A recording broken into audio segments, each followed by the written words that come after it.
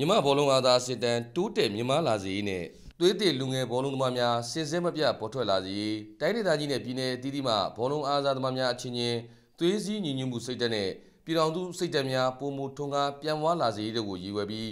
ကျမ်းမာရေးနဲ့အားစားဝန်ကြီးဌာန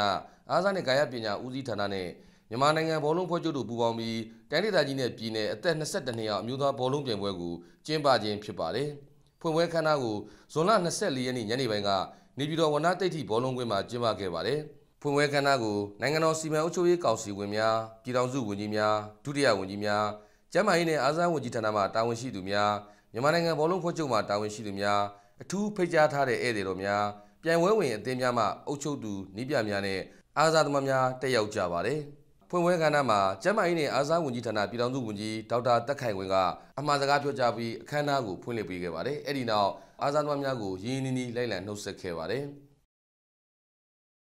ပြိုင်ပွဲရဲ့ပထမနေ့အဖြစ်ရှမ်းပြည်နယ်အသင်းနဲ့ရခိုင်ပြည်နယ်အသင်းတို့ရှင်ပြိုင်နေမှုများကိုကြည့်ရှုအားပေးကြပါတယ်။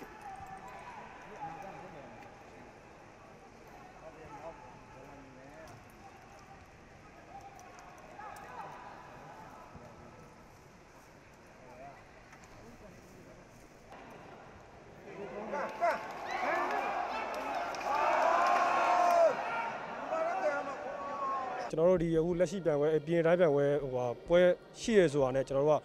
အရင်ဆုံးမျိုးနယ်မျိုးနယ်မျိုးနယ်ပြီးတော့မှခရိုင်ခရိုင်ပြီးတော့မှအဲ့ဒီကနေလူရွေးထုတ်ပြီးတော့ကျွန်တော်တို့အချိန်တလားတိတိအဲ့မှာဟိုင်မှာပဲစကန်သွင်းနေကျင်ပြီးတော့မှဒီကို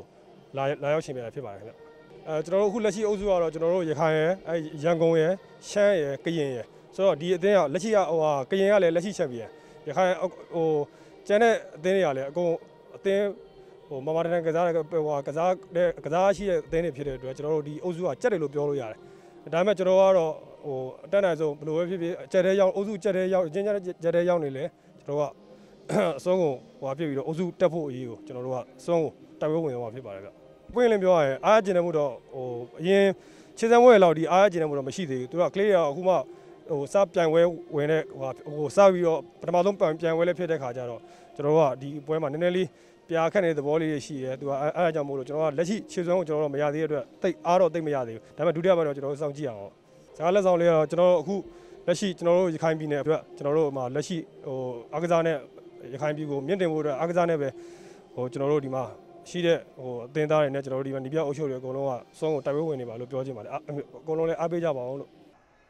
2021ခုနှစ်တိုင်းဒေသကြီးနယ်ပြည်နယ်အသက်22နှစ်ရောက်အမျိုးသားဘောလုံးပြိုင်ပွဲကိုအုပ်စု၄အုပ်စုခွဲပြီးရှင်ပြိုင်ကစားစီတာဖြစ်ပါတယ်။အုပ်စုကားကြီးမှာရှမ်းပြည်နယ်၊ကရင်ပြည်နယ်၊ရန်ကုန်တိုင်းဒေသကြီး၊ရခိုင်ပြည်နယ်၊အုပ်စုခါဝေးမှာမွန်ပြည်နယ်၊ကယားပြည်နယ်၊မကွေးတိုင်းဒေသကြီး၊တနင်္သာရီတိုင်းဒေသကြီး၊အုပ်စုကငယ်မှာကချင်ပြည်နယ်၊နေပြည်တော်၊စကိုင်းတိုင်းဒေသကြီး၊အုပ်စုဂါကြီးမှာပဲခူးတိုင်းဒေသကြီး၊မန္တလေးတိုင်းဒေသကြီးနဲ့အေရလီတိုင်းဒေသကြီးတို့ပါဝင်ကြတာဖြစ်ပါတယ်။ ပြိုင်ပွဲကာလဟာဇွန်လ24ရက်နေ့ကနေစတင်ပြီးဇူလိုင်လ10ရက်နေ့အထိရှင်ပြိုင်သွားမှာဖြစ်ပြီးပြိုင်ပွဲရဲ့ပွဲစဉ်များတော့ဝရသက်တိကွင်းပလက်တွင်မှာရှိတဲ့လက်ကျင်ကွင်း1နဲ့2တို့မှာရှင်ပြိုင်ကစားသွားမှာဖြစ်ကြောင်းသိရှိရပါတယ်ခင်ဗျာ။